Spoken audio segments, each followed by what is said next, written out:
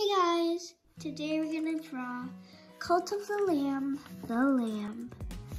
So first we're gonna start with the head.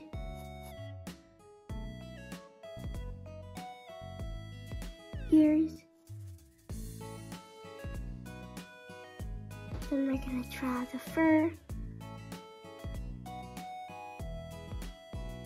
And then we're gonna draw the uh, I don't know what it, the thing is, but let's just try it. I think it's maybe a crown or something. There's then the horns, eyes, mouth, some details.